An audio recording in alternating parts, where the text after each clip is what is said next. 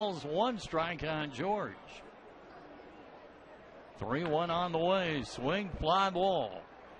Out into left field. Looking up, looking up. It is off of the monster. George heading to third. Here comes the throw, and he's safe. He got in there. Coming in to score is Dawson. George gets a triple out of it. And it's now an 8 5 ball game.